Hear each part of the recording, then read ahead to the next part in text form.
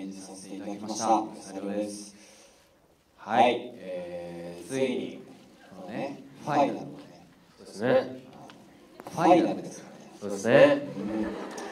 まあ、ついに見ていただける日が来たということで、そうですね。はい、もうとてもドキドキしてます。そうですねはい、えー、今日はあの最後まで楽しんでいってください。よろしくお願いします。三笠天智役の山田裕貴ですえー、今日一足早く皆さんに見てもらえるということで、えー、すごく嬉しいですでもこれがファイナルということでちょっと寂しい気持ちもありながらそうですね。ね皆さんに楽しんでもらってそうですね。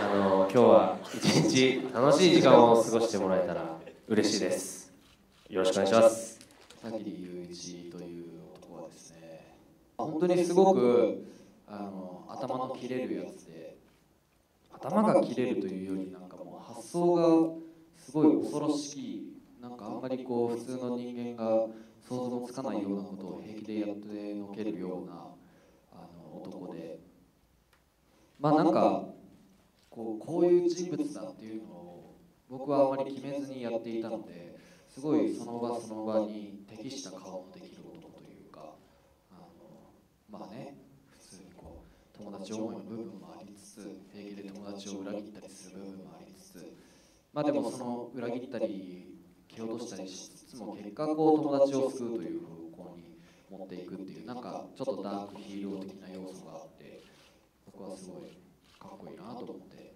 やってました。吉沢君のゲス顔？